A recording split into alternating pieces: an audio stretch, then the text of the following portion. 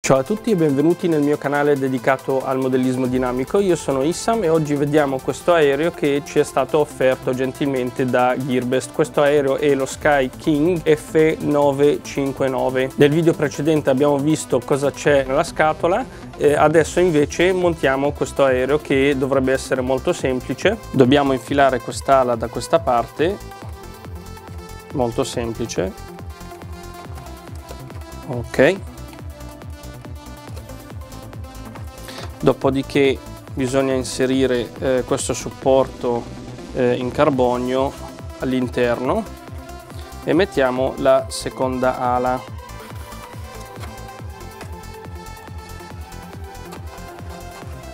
Adesso però prima di andare a volare dobbiamo fare qualche operazione di controllo. Apriamo il vano batteria e colleghiamo la batteria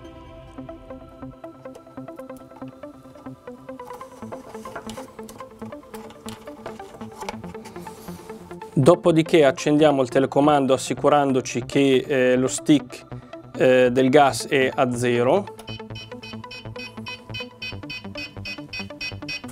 La prima operazione che dobbiamo fare è eh, vedere se le superfici di controllo sono dritte. La prima cosa che dobbiamo controllare è che questa superficie qua sia eh, diciamo dritta e non sia troppo in alto o troppo in basso.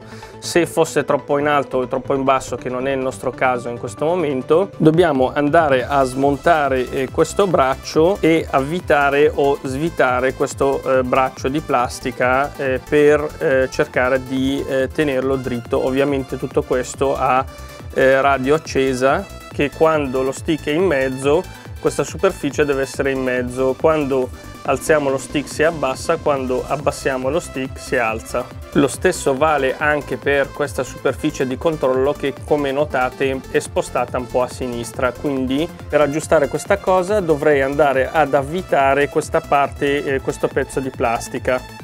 Molto semplice devo solamente staccarlo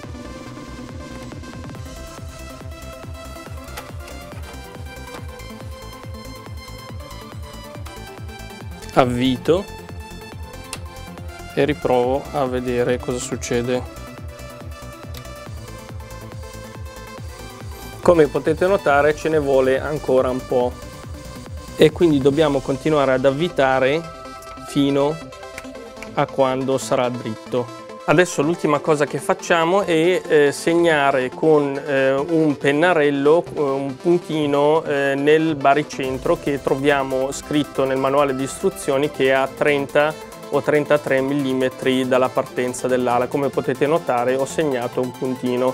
Questo, eh, vedremo l'utilità di questo quando andremo a fare la prova di, di volo. Ovviamente eh, dovessimo trovare che l'inclinazione che abbiamo deciso eh, di, eh, delle superfici di controllo non sia corretta quando andiamo a fare la prova di volo, possiamo andare ad agire su questi due trim. Chi vuole andare ad approfondire cosa sono i trim può cliccare qua. Siccome sono principalmente principiante negli aerei, eh, quando avevo notato questa inclinazione strana verso eh, destra dell'elica pensavo fosse un difetto.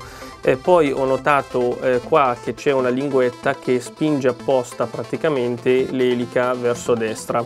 E questo probabilmente per compensare eh, diciamo, la deviazione eh, causata dal fatto che questo è un monorotore e gira da una parte quindi genera torsione nella parte opposta. Adesso prima di fare la prova di volo vorrei fare due prove molto importanti. La prima è il failsafe. Bisognerebbe sempre quando eh, si compra un aereo nuovo provare il failsafe perché nel caso la batteria finisse o eh, perdete il segnale per qualche motivo eh, non vorrete che il vostro eh, aereo voli via da solo. Quindi accelero un pochino.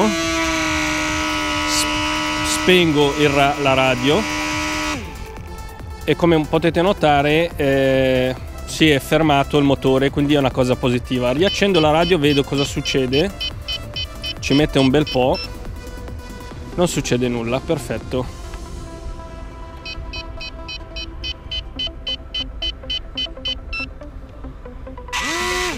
La seconda prova che andrebbe fatta è eh, controllare il baricentro. Bisognerebbe tenere eh, l'aereo dal punto che abbiamo segnato del baricentro e vedere se è bilanciato o meno. Sempre prima del volo ricordatevi di ehm, provare se funzionano i servo.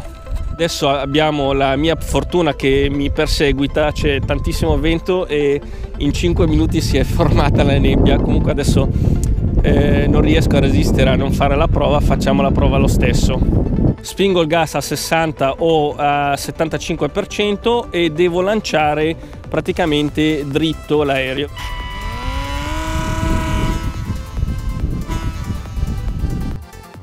Se trovate il vostro aereo sbilanciato, quindi con il muso o la coda più pesante, potete giocare con la posizione della batteria per arrivare ad un bilanciamento perfetto. Io ho trovato questo aereo più pesante di coda con la batteria originale, ma avevo un'altra uguale di un'altra marca che pesa leggermente di più. E mettendo quella l'aereo è perfetto, ma se volete potete aggiungere un pezzo di polistirolo dietro alla batteria che servirebbe sia a bilanciare l'aereo che a bloccare in posizione la batteria per sicurezza.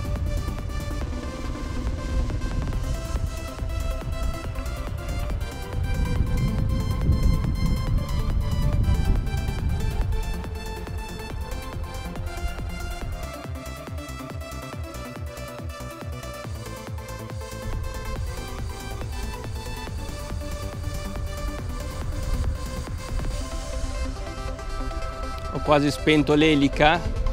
Eh, oggi c'è tantissimo vento e direi che questo aereo eh, è un aliante praticamente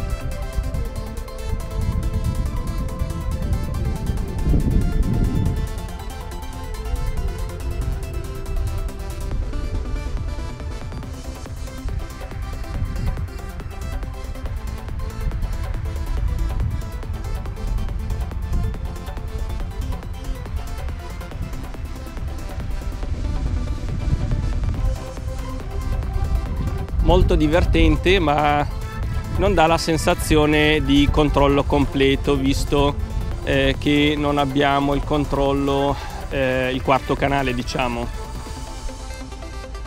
Comunque è davvero divertente, specialmente con questo venticello che c'è, eh, è veramente divertente, a me piace tantissimo. Eh, ho diciamo per settarlo praticamente avevo la coda che andava troppo a sinistra l'aereo e per settarlo eh, praticamente ho dovuto fare un, un leggero crash ma direi che è molto resistente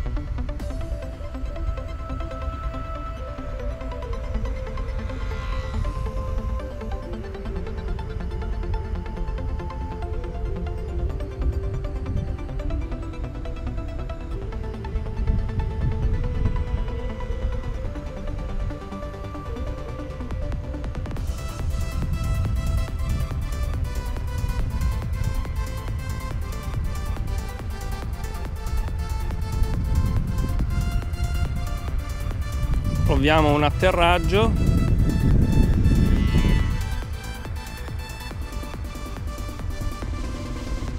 Ma non lo proviamo anzi mi avvicino un po' di più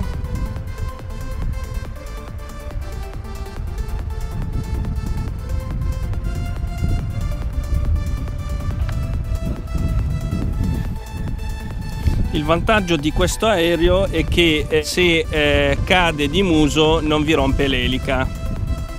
In più come notate l'elica eh, praticamente si piega. Nel caso eh, dovesse colpire qualcosa si piegano eh, praticamente le palette e eh, avete protetto l'aereo. Come potete notare qua ci sono tre buchi. Spostando il braccio nel buco superiore avremo un controllo maggiore o diciamo eh, sarà un po' più agile e più difficile da controllare però eh, così riesco a eh, diciamo resistere al vento. Lo stesso vale anche per questo quindi spostandolo nel buco eh, all'interno riesco ad avere un controllo maggiore dell'aereo. Ecco spostandolo nel buco verso l'interno un pochino bisognerebbe avvitare eh, il braccio del servo. Una cosa molto utile molto bella di questo aereo è la facilità di montaggio e smontaggio e quindi risparmiate spazio si può mettere dovunque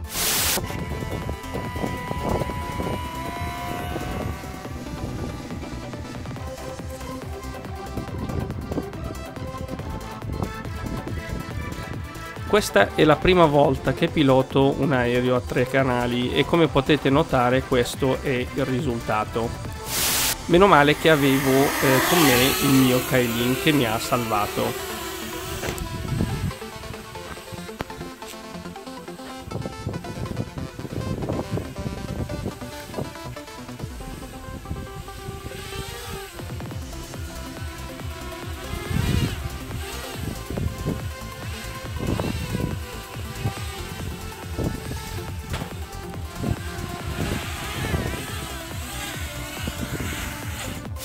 Vediamo quanto resistente questo aereo.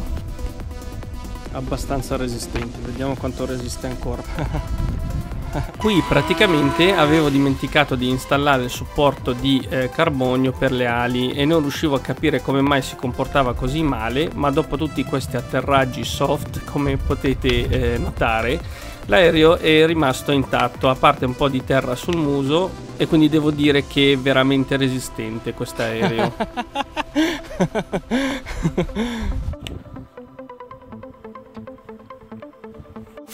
Se vi piace questo video vi ricordo di cliccare sul tasto mi piace e se avete dei commenti o dei suggerimenti visto che sono ancora principiante eh, con gli aerei vi prego di lasciarli eh, giù eh, sotto nello spazio eh, dei commenti di YouTube e se non siete ancora iscritti potete cliccare qua sul tasto iscriviti per iscrivervi. Grazie a tutti e ciao alla prossima!